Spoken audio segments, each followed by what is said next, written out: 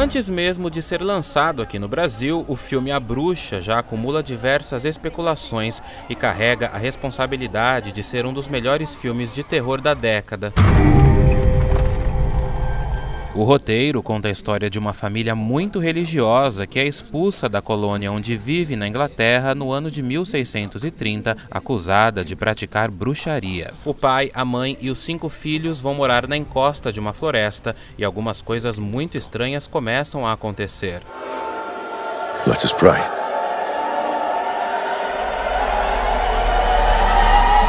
Produção é da RT Futures, empresa do brasileiro Rodrigo Teixeira, que leu o roteiro em outubro de 2013 e de cara sentiu medo. Eu peguei a apostila dos projetos que vão ser apresentados e li esse projeto de terror. Eu estava sozinho numa cabana no alto de uma montanha. Eu falei, cara, eu vou entrar nesse projeto. Mas eu quero conversar com o diretor. Conversei com o diretor, gostei dele, fiz uma oferta e fui o primeiro cara a entrar. Com um orçamento de 2 milhões e 300 mil dólares, o filme foi produzido de maneira independente e ganhou na categoria de melhor direção em 2015 no Festival de Sundance nos Estados Unidos. A gente tinha uma expectativa, achava o roteiro incrível e a gente sabia que esse filme podia acontecer. E em Sundance, ano passado, o filme aconteceu. A sessão do filme foi inacreditável.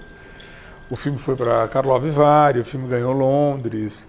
E assim, o diretor foi contratado para fazer um longa de 100 milhões de dólares, agora na sequência.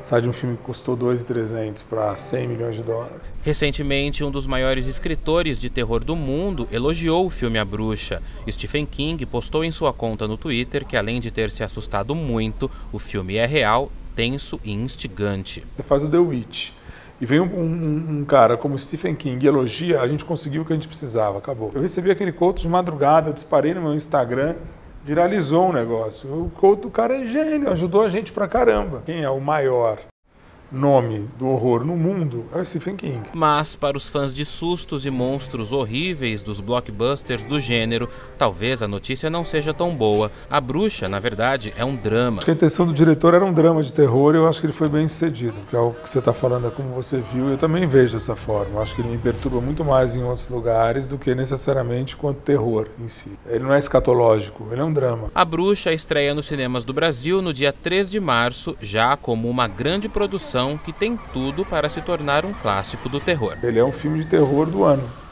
Ele é um filme de terror de agora. Ele é um filme de terror que vai ser comentado durante anos. É um filme que não vai ser esquecido. Ele é um filme que vai estar presente em listas, ele é um filme que vai estar aí. Ele, para minha carreira, é extremamente importante. É um ciclo. Eu vivi um ciclo com Francis Ha, eu estou iniciando um ciclo com The Witch. Então faz todo sentido ele fazer parte da minha vida profissional para mim hoje.